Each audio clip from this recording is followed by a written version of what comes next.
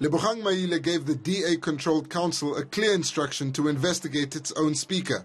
Ideally, they would have uh, referred the matter to the ethics committee, and the ethics committee will uh, investigate, bring the matter back to council. But that did not happen. Now he's threatening to appoint an external advocate to investigate whether Katlego Mathebe was wrong when she presided over a motion of no confidence against the mayor and herself. They uh, hope that the matter will vanish uh, into thin air. Unfortunately, don't. And uh, it's not uh, possible that uh, we will not do anything about uh, the matter because we view it in a serious light.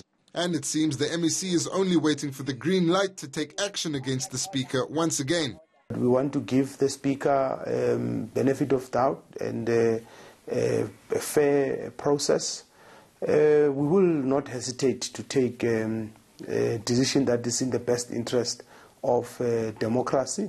The DA-controlled Tshwane Council is playing hardball with the MEC by delaying the investigation of the Speaker. But this could backfire on them as an external probe may lead to the Speaker being suspended once again. Govan Whittles, Johannesburg.